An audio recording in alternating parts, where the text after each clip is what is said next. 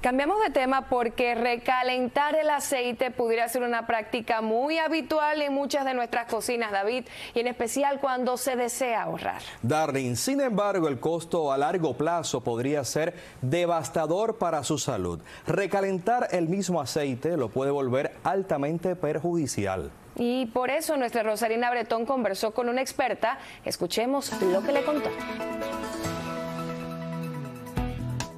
Efectivamente, y es una práctica que muchos utilizan en su cocina de recalentar el aceite, pero según un nuevo estudio existe una relación entre recalentar el aceite y trastornos neurológicos. Se encuentra conmigo la doctora María Peña, doctora, para que nos expliques exactamente qué dice ese estudio.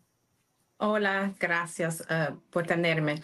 Este estudio nuevo que salió fue hecho en Chicago y este estudio demostró una nueva información.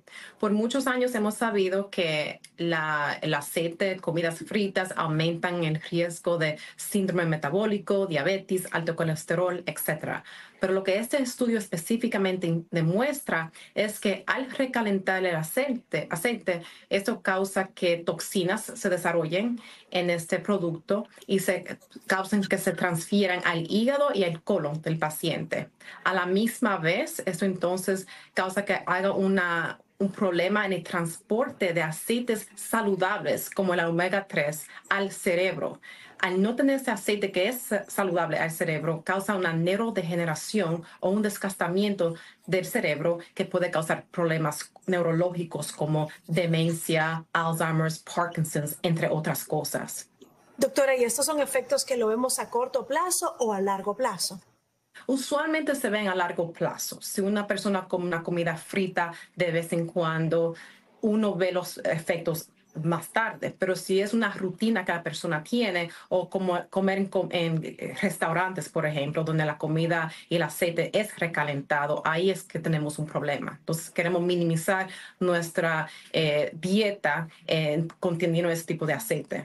Doctora, ¿y hay aceites que son más teñidos que otros cuando los recalentamos? Según este estudio, está diciendo que este efecto es a través de todos los aceites. Por ejemplo, el aceite de girasol, el aceite de aguacate es mejor para freír comida, para temperaturas altas. Este estudio fue hecho con ese tipo de aceite y demostró este problemas con las toxinas. Entonces, esto nos hace ahora pensar que debemos reducir la frecuencia de cuántas veces uno reusa ese aceite. Esa sería mi, mi recomendación.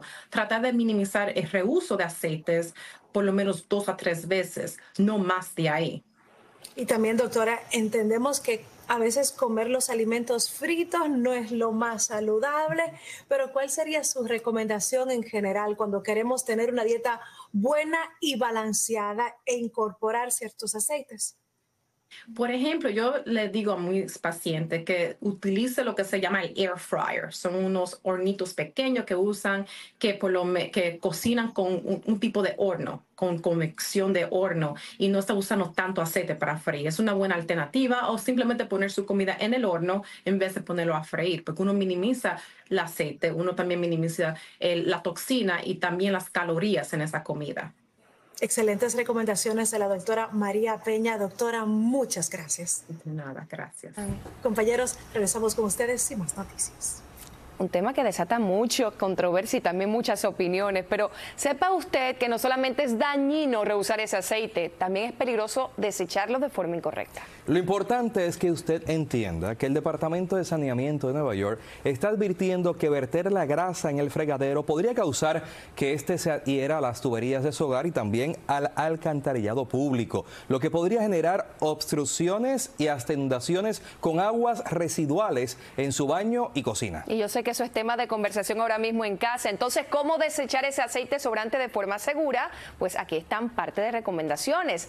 Coloque ese aceite sobrante en un recipiente con tapa hermética, ponga una etiqueta con la leyenda no reciclable y deséchalo en una basurero normal. Como alternativa también podría poner el aceite a temperatura normal en una bolsa de plástico y congelarlo antes de desecharlo. Utilice siempre toallas de papel para limpiar esos restos de grasa que quedan en los trastes antes de lavarlos y así también pudiera eliminar el desecho de aceite en su fregadero. Es un tema que genera conversación en casa y después de haber visto esta entrevista nos empezamos a plantear cuál es el aceite que debería usar en casa para para evitar riesgos. Todo con moderación siempre es oportuno, como decía la doctora. Todos los aceites están dentro de este estudio, así que pensar que no solamente es en casa, también es lo que comemos en la calle. Exactamente, porque no puedes controlar el uso del aceite en un restaurante o en algún lugar donde vayas a comer fuera de casa. Nosotros, así es, un estudio que nos da mucha opinión, pero también mucha información.